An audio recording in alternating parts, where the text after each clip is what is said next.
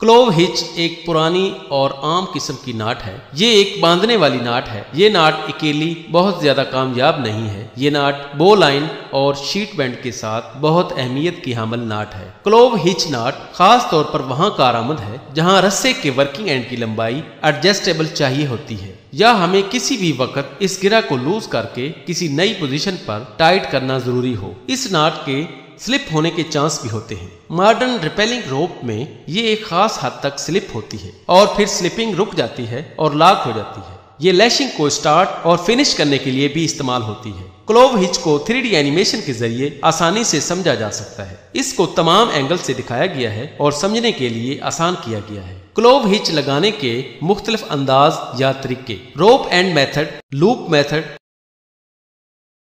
half hitch method